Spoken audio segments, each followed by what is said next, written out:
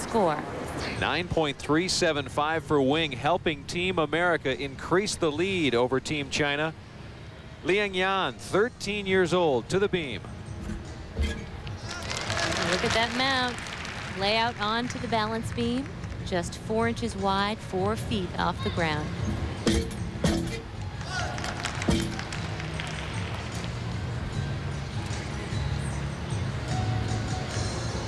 Your television does not deceive you. She is only four feet five inches and 60 pounds.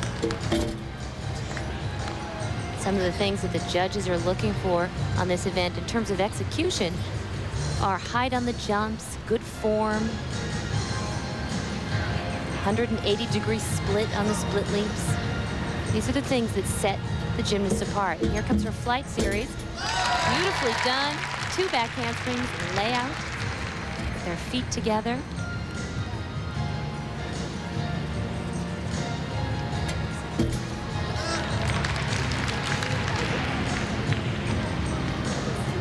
There's a required full turn.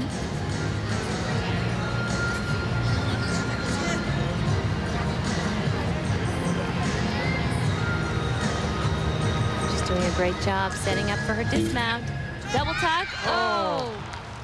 Gosh, she's had, again, all the pieces of the puzzle have not been able to be put together for these Chinese women. They are doing so well, and then, you know, a, a break here or a break One there. big mistake. One yeah. big mistake, and that's all it takes, five-tenths of a point. But again, the inexperience. I mean, these, these kids are so young. Their first international competition. Let's see exactly what happened here.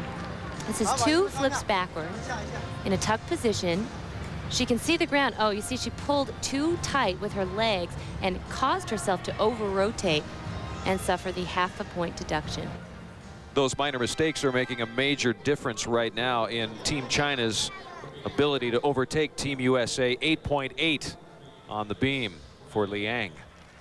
Now to the bars.